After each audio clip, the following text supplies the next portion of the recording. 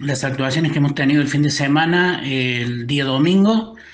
a las 20 y 40 horas, el personal policial controla una camioneta en los límites de jurisdicción entre Vicuña Maquena y Tosquita, en zona rural, una camioneta Ford Ranger, color blanca, la cual era tripulada por, por su conductor.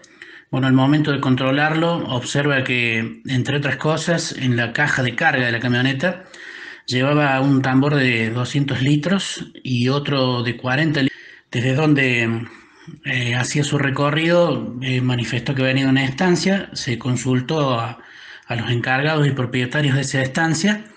sobre la, permanencia de esta persona en el lugar y si efectivamente eh, ya habían brindado el, combustible que traía, lo cual lo negaron, así que bueno, fue trasladado a sede policial donde se inició el procedimiento, se le recepcionó la denuncia al propietario del, establecimiento, se dio participación a la Fiscalía Interviniente de la Ciudad de Río Cuarto, quien ordenó que se secuestren los elementos, se le impute a esta persona de 30 años de edad domiciliada en Becuña Maquena el delito de hurto y que posterior eh, los elementos secuestrados sean restituidos al, al propietario del, del establecimiento. Y después, el mismo día domingo, a las 23.20 horas, tomamos participación en una muerte eh, de una persona de 73 años, una muerte a causas naturales, persona que ya tenía otras patologías anteriores, pero bueno, al no contar con un médico de cabecera que eh,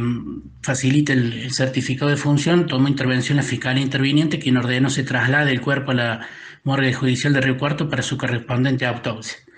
Eso fue lo que tuvimos. Después tuvimos un par de, de denuncias por hechos que son eh, de carácter de denuncia privada, eh, como son de violencia familiar y ese tipo de cuestiones, más los operativos de, prevención y algunas contrataciones de, de actas por personas eh, reunidas en lugares no permitidos debido a, a la fase 1 en que se encuentra la localidad.